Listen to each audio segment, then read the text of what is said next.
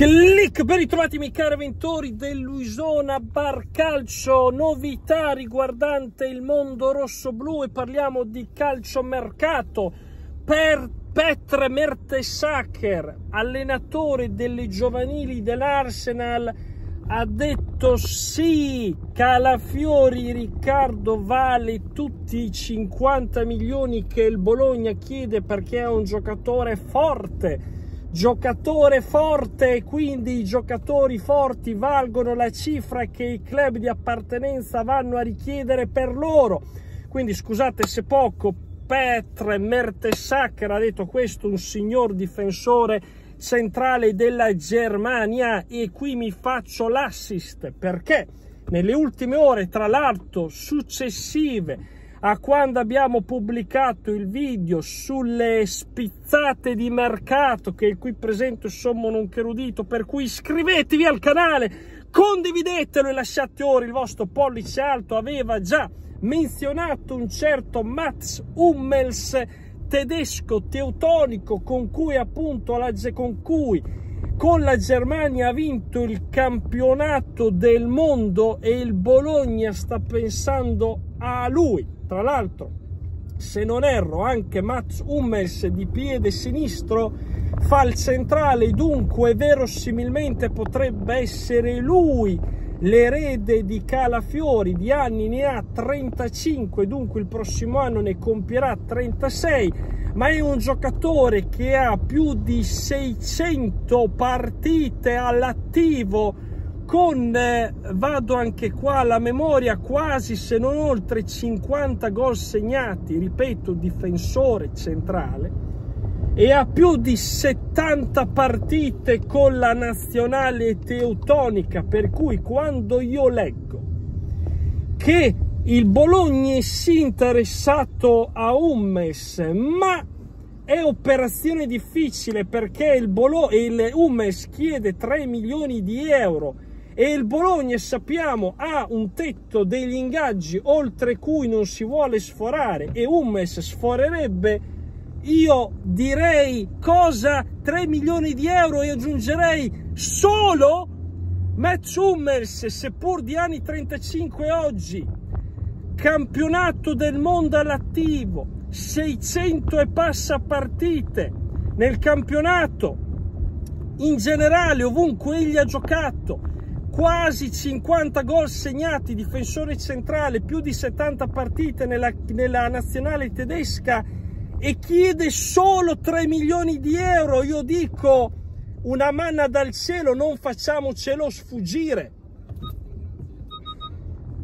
Non facciamocelo sfuggire, altro che non rientra nei piani. Giocatori di esperienza servono, servono e, e, e, il giocatore dalle cifre, sempre che siano reali, solo 3 milioni, che vada a richiedere, dobbiamo firmare con il sangue perché giocatori come Mats Hummels in questo campionato servono e come, basti pensare, perdonatemi, uno dice vecchio, quanti anni ha Serbi nell'Inter? Non ne ha quest'anno 37? No, perché poi dobbiamo incominciare anche a fare uno più uno, ragazzi, un conto è prendere i futuribili, a me va benissimo, però insieme ai futuribili vanno presi anche i giocatori d'esperienza possibilmente forti. E Matt Hummels l'anno scorso ha giocato in totale più di 40 partite alla veneranda età di 34-35 anni del, del calibro finale di Champions League annessa e connessa e scusate se poco e io dico che di, agli anni 35-36 lui può giocare in Serie A può giocare al Bologna e può giocarle anche tutte a tal deg me perché secondo me Mats sarebbe un acquisto fantastico un acquisto di una società che sì va a guardare, no, a prendere un certo tipologia di giocatori, ma nel, nel, nel mezzo ci deve inserire anche i giocatori di esperienza, come tra l'altro ha fatto lo scorso anno andando a mettere in mezzo al campo un certo Remo Freuler. E poi è vero, Remo Freuler non va a richiederne 3 di milioni, per carità è vero, ma qui stiamo parlando, non me lo fate ripetere per la terza volta, il curriculum vitae di Mats Hummels che non me ne vorrà Remo Freuler e qua spiega, visto e considerato che sento già qualcuno di voi, è dottore, ma se però ne dai tre a Hummels, poi viene a chiederne tre a Orsolini, viene a chiederle tre Tizio, Caius e Proio, cosa viene a chiederne Orsolini? Tre? Gli si sbatte a Orsolini e compagni la carriera di Matsume se gli si dice quando te potrai vantare qua sopra il tavolo un terzo della carriera di Matsumels te allora potrai venirmi a rugare il cazzo contrattualmente cercando e volendo prenderne quante Matsumels ma te no, se non arrivi a un terzo della carriera di un certo Matsumels te da questa stanza non puoi, in questa stanza non puoi certo venirmi a chiedere l'ingaggio che noi andiamo a corrispondere eventualmente a Matt Hummels.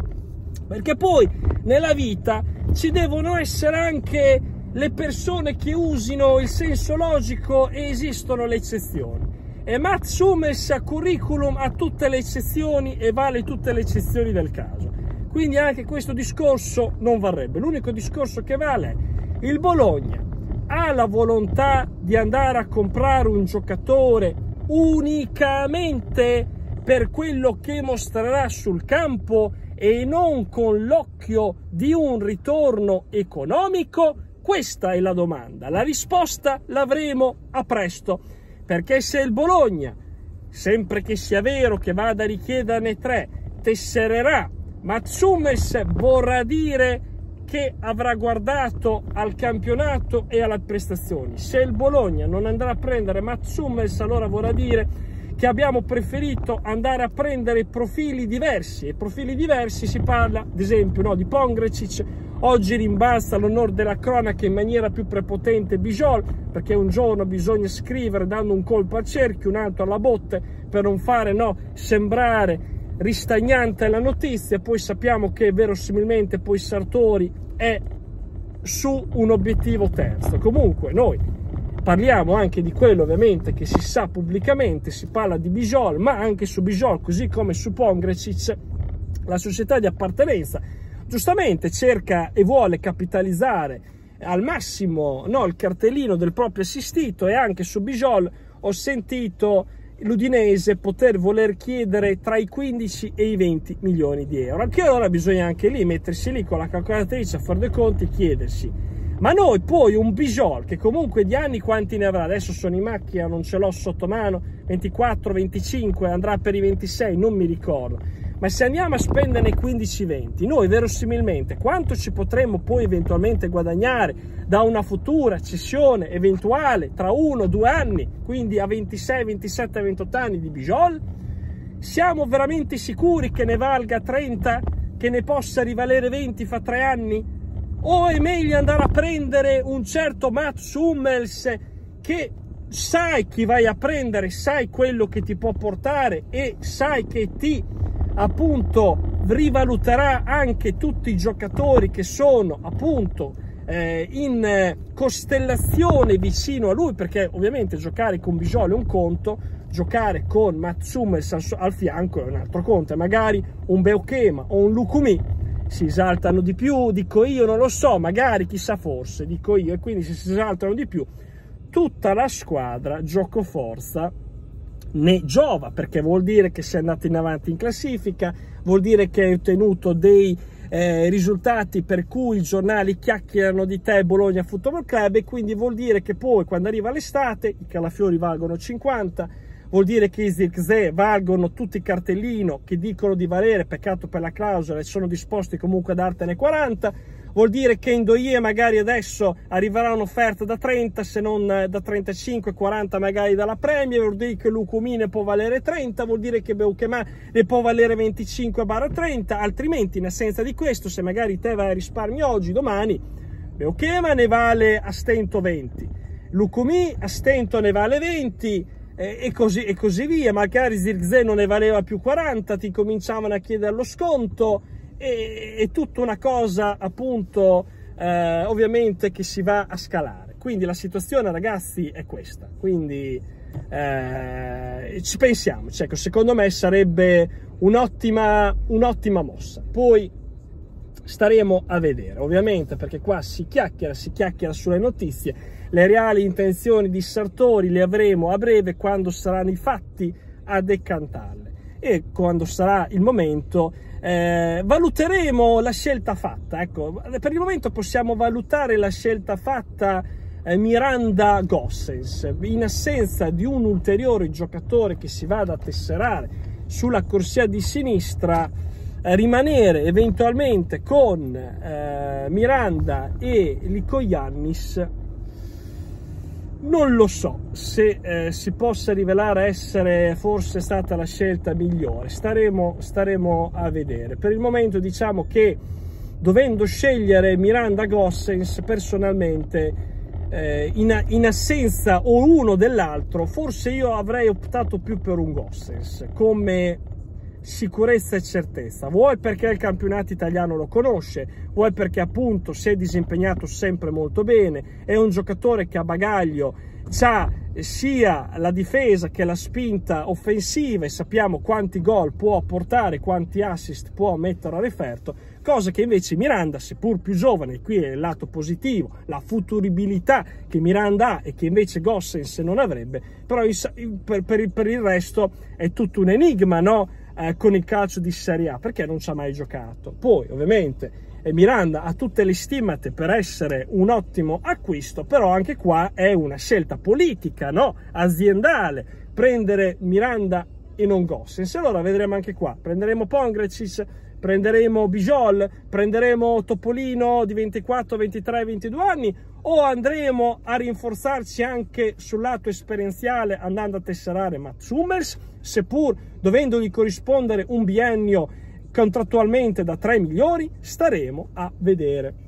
Notizia certa, il Milan eh, non guarda più a Zirkzee, è stato lo stesso eh, Ibrahimovic a praticamente farlo uscire dai radar dicendo che Zirkzee è facente parte del passato, quindi il Milan è uscito dalla corsa verosimilmente da quello che ho capito perché il Milan non intende ingrassare le finanze di un procuratore e Ibrahimovic ha disbrigato la situazione dicendo ci sono procuratori che eh, risolvono problemi e altri che li creano quindi per cui quello di Zirkzee, se l'equazione eh, non è sbagliata, sarebbe uno che li va a creare. Detto questo, comunque a Bologna poco interessa, eh, per, anzi forse anche meglio perché così non andiamo a rinforzare una nostra concorrente, si spera diretta,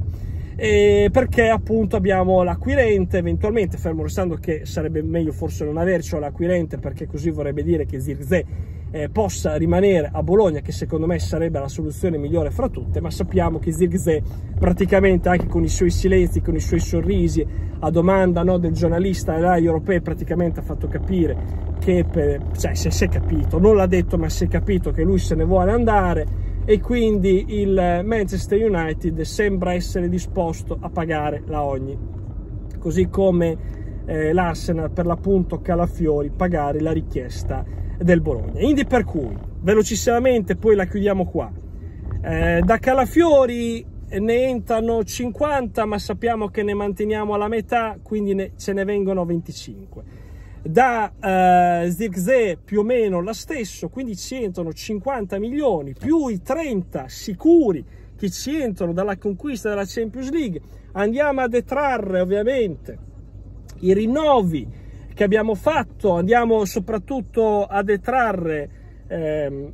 l'acquisizione di Olme che l'abbiamo pagato sui 7 milioni, seppur mi sembra non tutti subito ma con un prestito eh, oneroso più un obbligo di riscatto, quindi anche qua in realtà non andiamo a scalarli totalmente ma gradualmente. E quindi voi capite che il Bologna ha una cassa esorbitante a disposizione, la domanda è li andremo a spendere o li andiamo a mettere come quel tesoretto che serviva per andare a fare il rinnovo lì dello stadio, della ristrutturazione? No, perché a questo punto, no, visto che sembriamo non avere i soldi, guardiamo là, guardiamo qua, ragazzi, qui c'è da prendere i giocatori forti. Cominciamo bene a prendere Matsumes che di, che di cartellino costa zero. L'ingaggio chi... Dai, ragazzi, non sarà mica un problema. Campanaccio pastorale sempre attivo, box commenti a vostra disposizione, fatemi sapere la vostra e ci sentiamo alle prossime. Chiacchiere da bar.